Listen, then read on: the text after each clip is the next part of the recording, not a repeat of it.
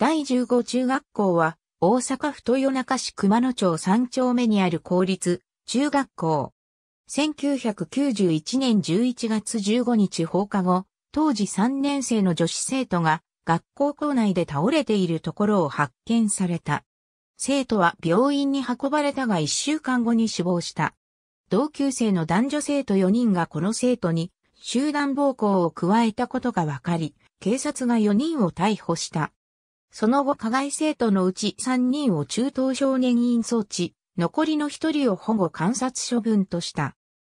遺族が起こした民事訴訟では、大阪地裁で1997年4月、加害生徒及び親権者に対して損害賠償を命じる判決が出されたものの、いじめは教職員の目に見えにくいところで行われたなどとして、学校の過失責任及び暴行の予見可能性はなかったと判断し、豊中市に対する請求は棄却された。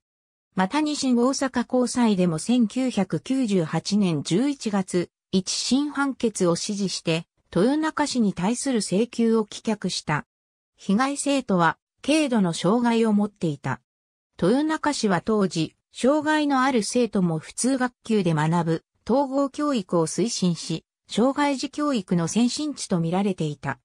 しかしこの生徒に対して、障害を理由にしたいじめがあったが、学校側は十分な対策を取れていなかったことが明らかになった。